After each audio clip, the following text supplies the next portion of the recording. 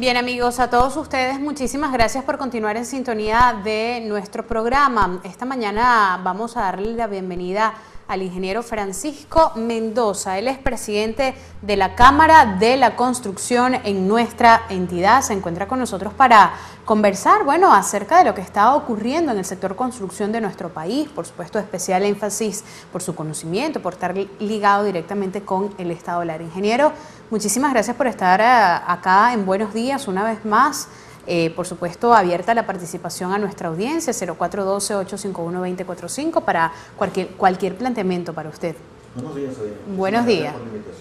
Quisiera eh, saber en un principio eh, cómo marcha todo dentro del sector de la construcción en Venezuela. Em, hay muchas informaciones, sobre todo también eh, eh, mucho que se dice desde eh, los sindicalistas, trabajadores de la construcción, hasta lo que uno puede apreciar al momento de, pasar por distintas construcciones que parece algunas se han tardado mucho, mucho más de lo previsto. ¿Qué está pasando en este sector? Bueno, mira Sabina, este, una de las cosas fundamentales que se están produciendo, ya estamos en el tercer trimestre de este año 2015 y lamentablemente las inversiones en el sector de construcción, sobre todo las inversiones del sector privado, no han sido las más novedosas, por decirlo de alguna manera, por, calificarlo de alguna forma, porque eh, no ha habido una disposición muy importante del sector gubernamental, sobre todo el gobierno nacional, en tratar de impulsar al sector privado en la construcción. Y podemos tomar en cuenta la situación del sector vivienda, algo que es muy necesario, fundamental para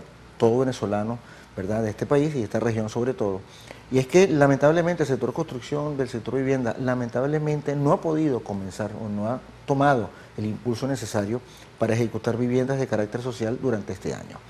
Eso lamentablemente se ha patentizado. ¿Por qué no se ha podido tener ese impulso para la construcción de viviendas? Una, una cosa definitivamente elemental para el crecimiento de un país, para sobre todo lograr calidad de vida entre los habitantes. El simple hecho de tener una vivienda significa una tranquilidad para una familia. Sí, evidentemente estamos hablando del sector privado, ¿verdad? En donde mm, con anterioridad, en los años anteriores, ¿verdad? Eh, se había ejecutado una cantidad importante de viviendas del sector privado pero preguntas, ¿por qué no se ha acometido esos desarrollos habitacionales? ¿Verdad? Mm, mira, por múltiples razones. Obviamente se, sonaría trillado nuevamente manifestar la situación que presenta el sector privado con el cemento, con el concreto, con la cabilla, la malla, etcétera, etcétera, el alambre, cosas que son fundamentales para el sector construcción, no solamente para vivienda. Pero bueno, dejando a un lado esa situación que ya es algo que venimos manifestando desde hace muchísimo tiempo, ¿verdad?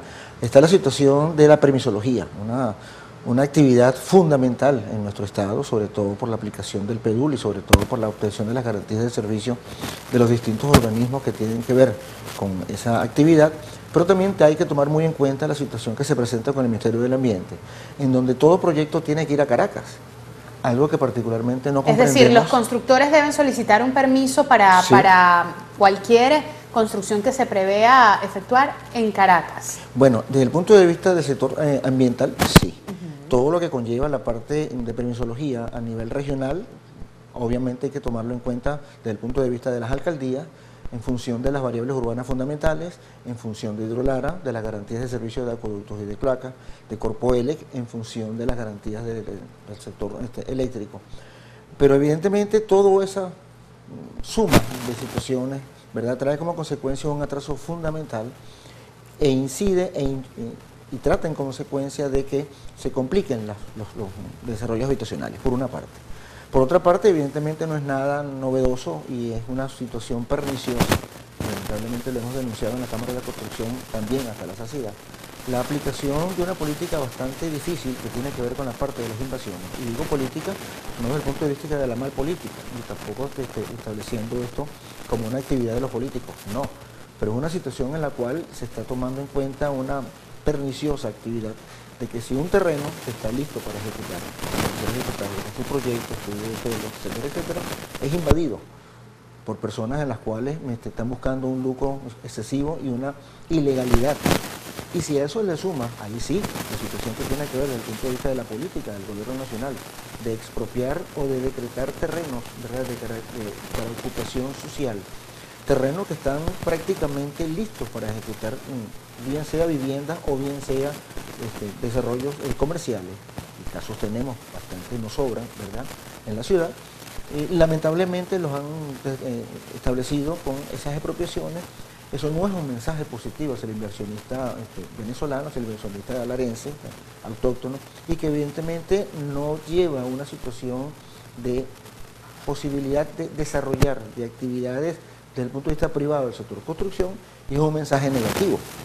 Un constructor, un promotor que tenga un terreno, ya con proyectos, ya con permisología, ya con prácticamente un financiamiento a través de la gaveta hipotecaria, cuando ve esa situación que se le presenta, ¿qué hace? Simplemente espera que me lo invadan. Bueno, algún día se dirán o algún día me lo resanciará el, el Estado venezolano.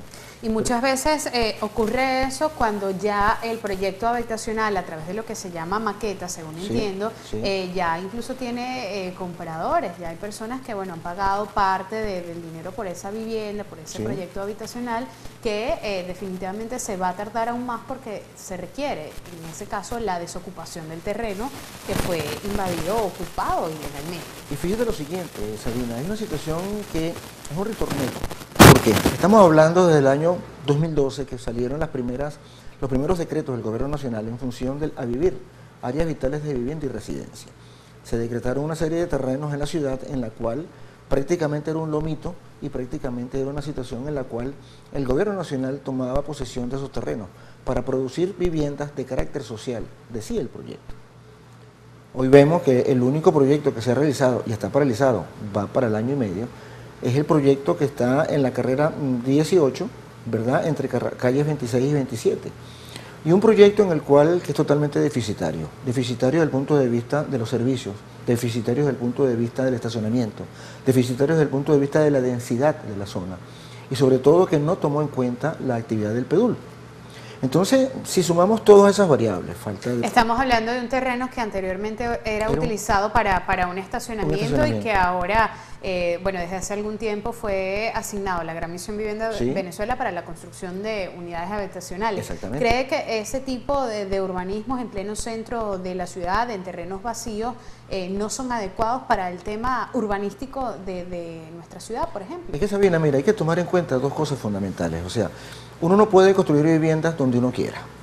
Y uno no puede desarrollar comercio donde uno quiera. Uno no puede desarrollar industria donde uno quiera. Para eso está el PEDUL, el Plan de Desarrollo Urbano Local, que justamente se está trabajando nuevamente, desde la semana pasada se está trabajando nuevamente el sector privado para retomar esa actividad que estuvimos durante cerca de siete meses trabajando.